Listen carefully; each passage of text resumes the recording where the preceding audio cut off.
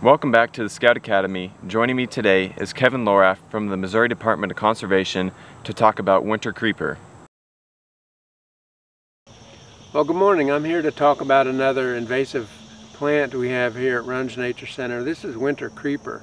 This plant in front of me, winter creeper grows by sending out a, a vine and then sending out roots, sending out another vine, and this plant just kind of creeps across the landscape. It's called winter creeper um, for two reasons. One, because it creeps and can form a dense mat. And it's called winter creeper because it's it stays dark green even in the winter when all of our native plants are, uh, the leaves have fallen and the plant is, is dried up. Um, these will stay evergreen in the winter.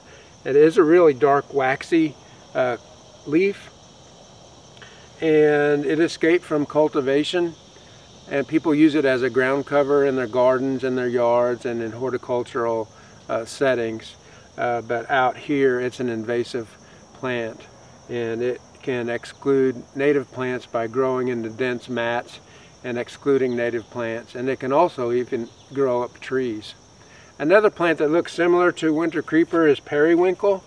I've got an example here. Periwinkle also escaped from cultivation, also an exotic invasive plant, also with very waxy leaves that stays green um, uh, year round.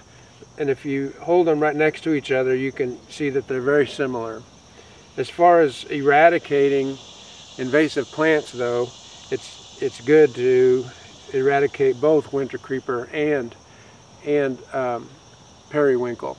Periwinkle will have the little small blue flowers and the flowers of the winter creeper will be very uh, kind of green, uh, greenish white color.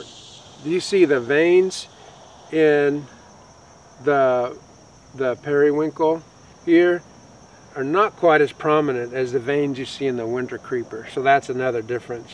Another difference is that the winter creeper also has serrated leaves like a saw blade whereas the periwinkle leaves, the edges are smooth. So two invasive plants, um, both of them, they look similar, they act similar, uh, both of them ones that we need to get rid of on the landscape.